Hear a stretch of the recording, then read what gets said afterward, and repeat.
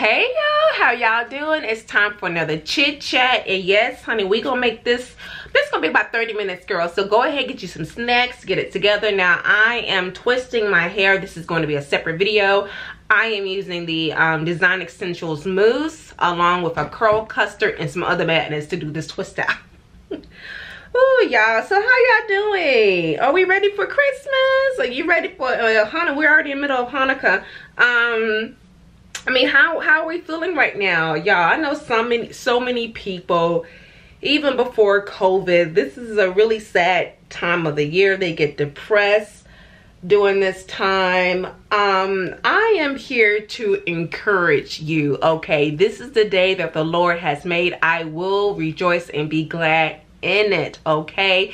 If you are breathing, if you have life, you are blessed.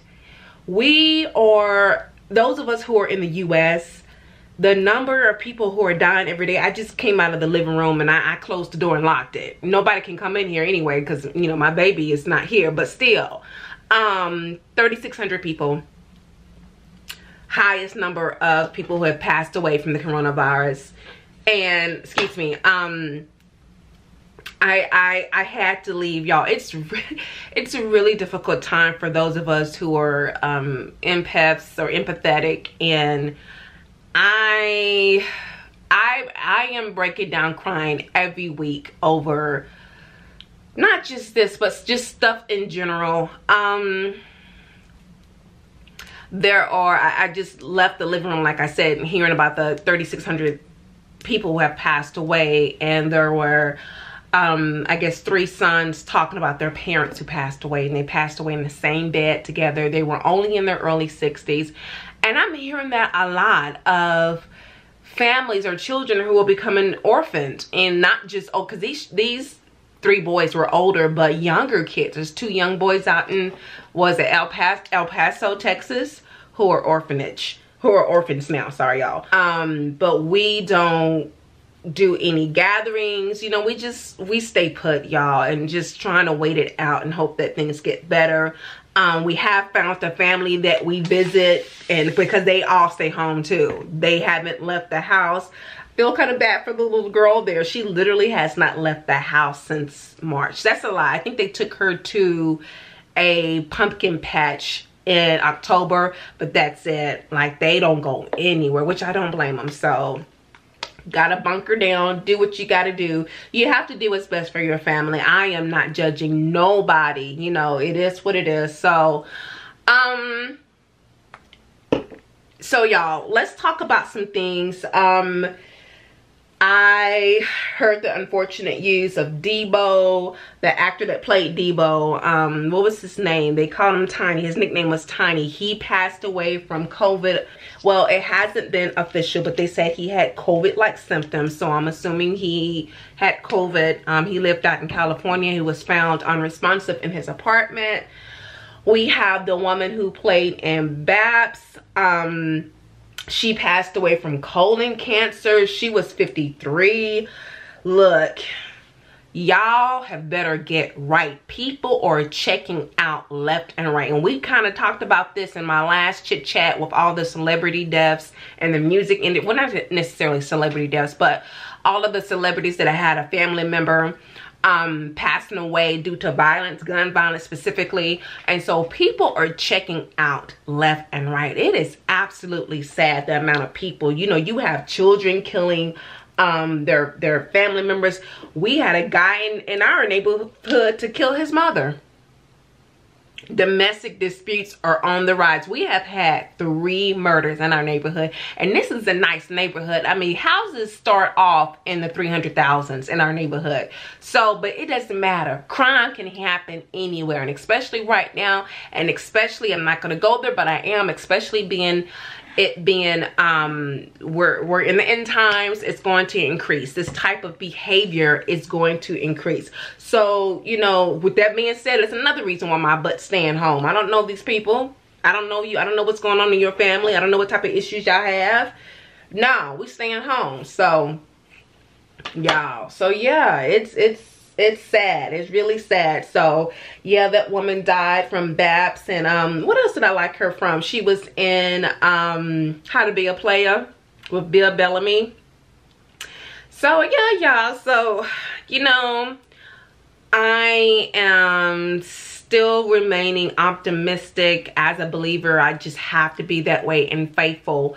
Um and it was so funny. I was talking to and i didn't mention this in my my blog. I was uh chatting with antoinette busby bubs. Y'all know who she is the pretty thick hair and 500 kids girl. Uh we, we chat every now and then. And so she said that this year had because she's just you know checking in and see how we do that just checking and see how each other are doing right?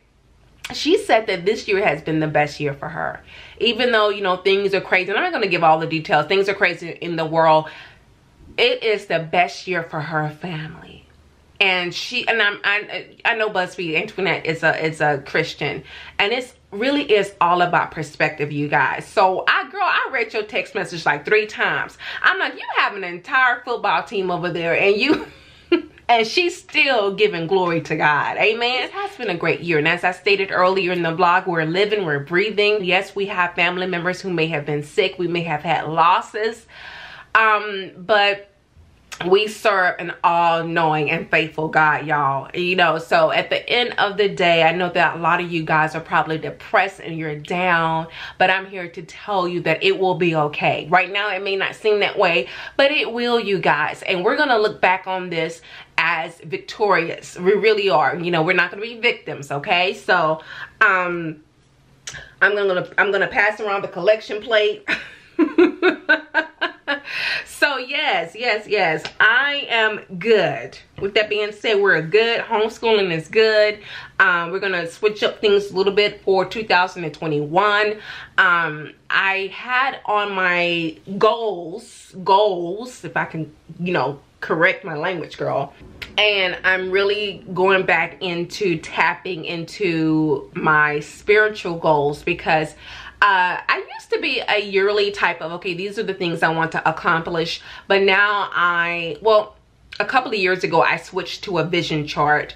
Um, and that was really, really good for me. And then, so that's why I was leaning towards when we started out with 2020 and then the pandemic hit. But one of my spiritual goals on there was to look into what my spiritual gift is and i think we all have a spiritual gift amen now part of me wishes it could be um to sing, you know, to vocalize and be able to bless people. But that's not for me. And that, that I don't have that, girl. So, you know, but I believe that my um, gift, and I, need to really pray on this and fast and get it together, is um, the gift of encouragement or um, exhorting. Okay, I, I, I believe I, I I know there's no belief at this point. I know that that is my spiritual gift. So um, I need to really focus on that for 2021 because I think that people, I need to start focusing on that now because I know that people are going to need that. And I think I do that to a certain degree. I, I try to encourage you guys here on my platform. Um, so yeah, you guys, so that's it for the personal life stuff, y'all. wanted to give y'all an update y'all already know things are going to be a little bit crazy for 2021 on my channel. Um, i'm trying to get this last ratchet review. Y'all i have no idea where the camera the camera stopped and i don't know where it stopped so oh well girl. Um, i hope y'all heard me talking about me focusing on for 2021 but really starting now on what my spiritual gift is. Because i really think that whatever gift that you are blessed with is definitely going to be needed for 2021. And so, um, I think it's really important right now in this day and age also to be obedient and to not be too uh, distracted. Okay, and there's a lot of distractions right now.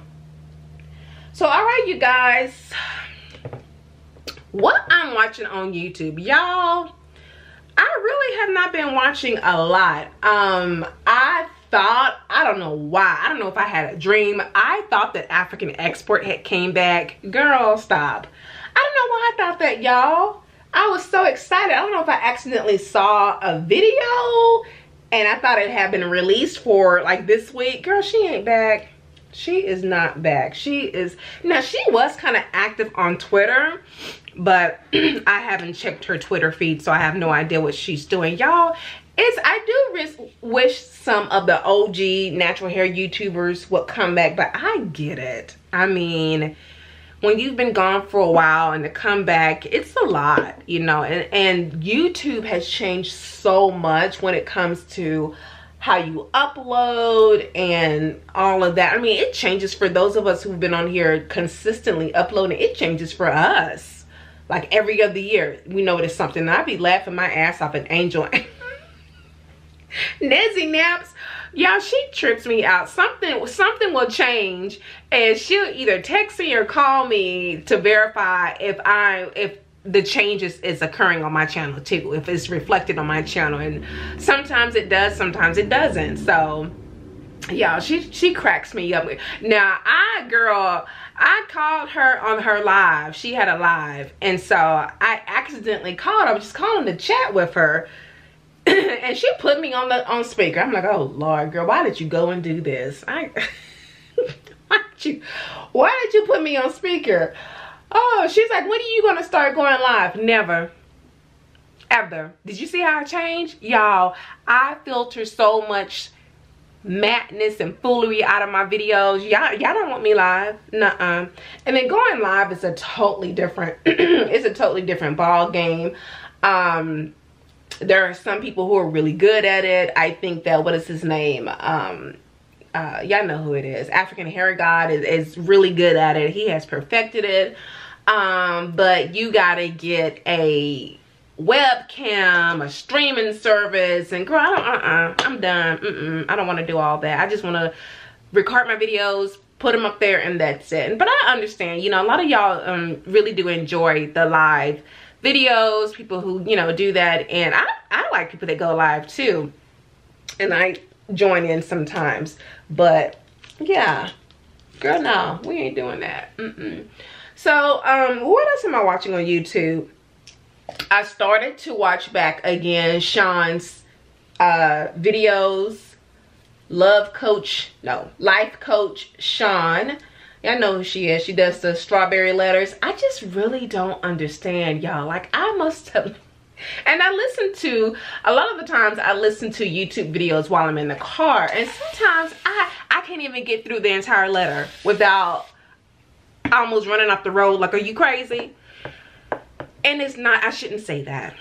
It's not that the women or the young women who are writing into sean are crazy. You know love can make you think a lot of things. And also a lot of these men or people in general or uh, narcissistic and um, controlling and they will have you thinking a certain way or feeling a certain way. And so I don't want to want to 100% blame the writer of the strawberry letters but at some point you have to take accountability of making this decision to be with this deadbeat man. Because you get and, and you know what's so funny is a lot of these letters I saw the red flag but then why are you writing in? You already know what you need to do. You just need someone to say, yes, it's, it's okay to leave him. You already know what you need to do. And y'all, I, I get it. It's hard. It can be extremely hard to leave someone who you, you know, truly are in love with.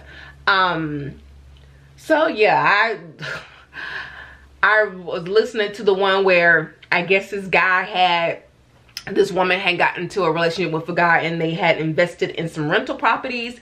He apparently had 17 rental properties. Come to find out that he was staying with his baby mother for according to him, he was still staying with the baby mother, not for the mother, but for the child. They needed to cohabitate together. Is that a word? They had to live together for the child. And so the writer was like, you know, she asked her boyfriend, what are y'all sleeping together? What type of question is that? Like seriously, like what type? And he's like, no, absolutely not. We're just, you know, we're I'm just here for the child. I'm not sleeping with her, even though I have 17 different houses I can go to and do whatever the hell I want with her and anybody else. Y'all, woo, child. Sometimes, you know, like I said, I just think that these women need this almost like permission slip to do what they know that they should have done years ago. And it's hard. So yeah, listening to that, looking at that, um, I still feel like on this platform, YouTube, that a lot of I don't even want to say 4C, that a lot of 4 type chicks are still chasing length and a certain curl pattern. In my opinion, there is no reason why someone like Busby, who has quality content, shouldn't have over a 100,000 subscribers. That's just my opinion. Um, I think she puts out great content. I'm not just saying it because I like her. There are other um four type chicks that i think put out just as great content and they have less than 10,000 followers. And i'm thinking what's going on? And then you go to someone else who has 3c 4a i'm, I'm gonna be nice nice and put in 4a but mo most of the time they really are just 3c um and they have over 100,000 followers. They have long hair. They have even like super thick hair. And it's like you know most people have great content. Um, Kalona Curls is one, although she's not as consistent um, as she used to be, but she has fine hair. She has long hair, um, and she has fine hair. And I think that she deserves a lot of views. So anyway, y'all, I'm just saying that I just think that there are still a lot of people who are deserving of the views and subscriptions and they're not getting that. Um, and I know a lot of people view the natural hair community as toxic and I I don't feel that way necessarily. I think that it could, you know, it could be that way depending on how you look at things, but I don't let it get that way on me, girl.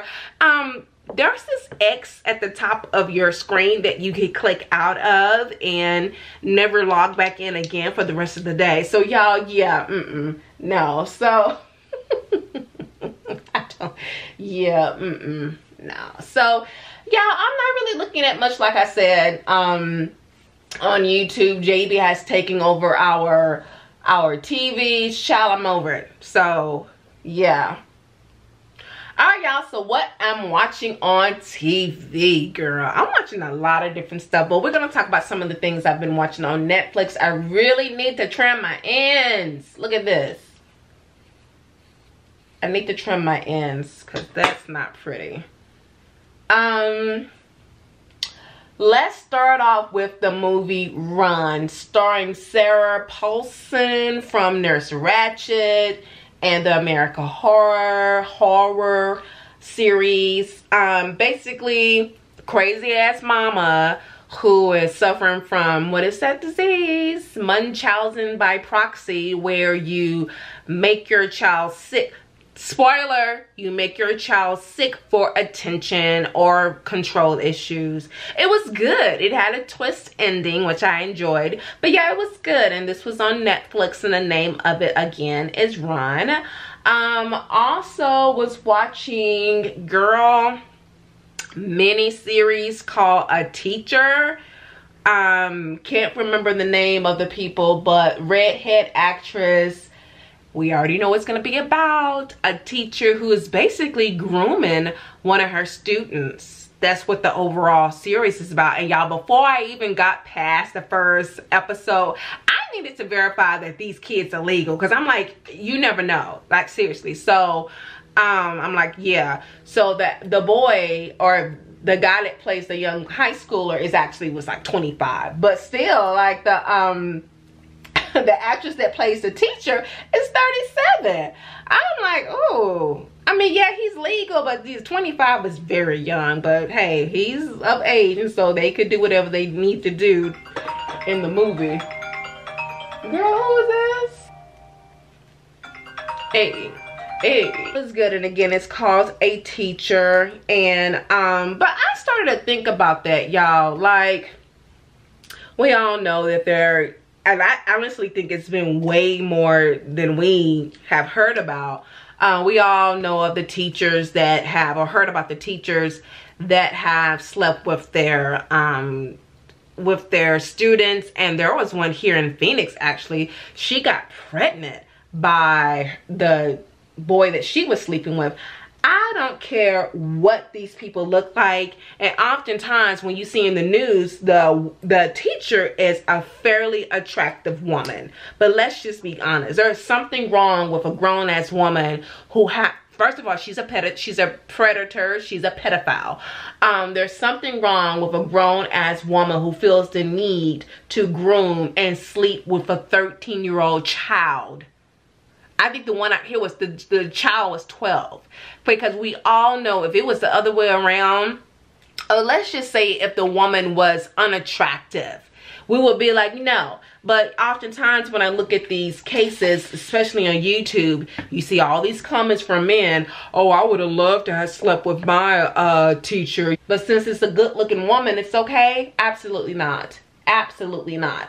Uh, who was the one that passed away from cancer? Mary Kay Mary Kay Letourneau. She ended up having two children by this uh, child. Well, I think the second one, he was of age. And she ended up passing of cancer. What was it, last year or earlier this year? But you know what I was thinking? He's the only, from what I understand, the only case he's the only one where we got to see what the child looked like and i honestly think it's because uh he's a child of color. What is he asian? I don't know what his ethnicity is but everyone else you never got to see what the child looked like. Um i think a lot of these women and especially in the the series the mini series a teacher the women are are you know the attention that they get from these young men is everything. Because uh, come on. A 14 year old 13 year old boy probably haven't even had sex and now you have your teacher showing you some attention. Of course you you're gonna be texting her all day of the hour. If she sends you a little picture that's it. It's a wrap. It's disgusting. It's sick. So anyway y'all enough of that. Um we watched the goonies. I know y'all from the 80s my baby. We're watching a bunch of 80s movies. Um JB and I are watching a bunch of 80s movies together. So we watched The Goonies a couple of a couple of uh, days ago, and he was like, "This is the best movie ever." He's so cute. He's like, "This is now my favorite movie besides Coraline." Yeah, Coraline is so damn creepy to me. That's his favorite movie though, Coraline. Um, so anyway, we watched the Goonies and I was pointing out some of the things in the movies and he he was right it was right up his alley because JB's an old soul and he really did enjoy watching it. Um, girl, saving the best for last. So y'all know that I've had the Game of Thrones in my list for literally for like a year. And i was like i got stuff to do. I ain't gonna ain't gonna no I ain't got time to be watching no all this stuff. I am here for it baby. Um winter is here. Baby winter been here. It's cold as hell. So y'all i'm looking at it of course i'm late. I'm years behind. But hey i'm finally doing it. So i finished season one and y'all the first few first few episodes, you gotta pay attention. Like you you gonna be lost if your ass ain't paying attention, right? So they're talking about the White Walkers. I'm like the white the White Walkers. It's, it's some more white people. What the hell's going? on? Girl, no, it's a different. It's not even people. It's, uh, I'm assuming it's a species, a different species of uh, a being that they're scared of. Um. So yes, I finished season one. I can't stand Joffrey's ass. I need for someone to do something to him. Um, I have a feeling that they're going to kick him off the throne because he's the king. He's a child king and he's very immature. He's sadistic as hell. He needs to go. He needs to go. So, uh, yeah, y'all, I'm liking it. There, there is a lot of sex and um Busby did warn me that it's gonna she she said she stopped watching it because it was too much sex. I'm like wait a minute. There's gonna be more sex than this?